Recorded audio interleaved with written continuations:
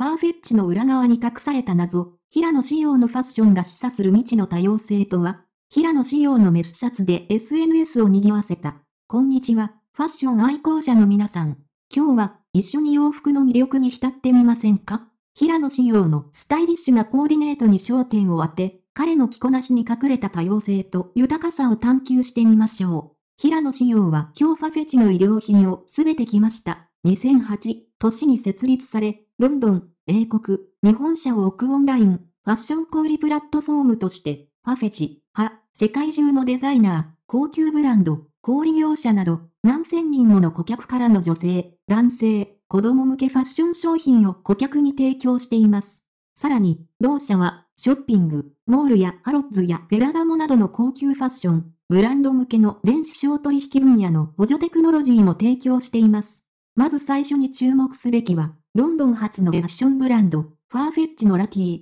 グレーのトレンチ、コート。価格は1600ドルと高級感満点ですが、平野仕様がそれを身にまとうことでどれほどスタイルが昇華されるかを感じます。このトレンチ、コートはユニセックスであり、男女問わずフィットするようデザインされています。シューレースが個性を引き立て、中厚手の伸縮性生地が着用時のシルエットを美しく際立たせます。さらに、注目すべきはファーフェッチのシャツ。このジェンダーニュートラルなメスシャツは、平野志陽が見せるセクシーな一面を引き立てます。価格は41ドルで、なんと50%オフ中。単体で着ても存在感たっぷりですが、中に着るとどんなファンの目を奪われることでしょう。観客は大興奮し、その魅力に心を奪われること間違いなしです。靴についても見逃せません。おそらくファーフェッチのブランドの光沢のある靴を履いているでしょう。価格は198ドルとなりますが、その高価なだけに世界トップクラスの品質をお約束します。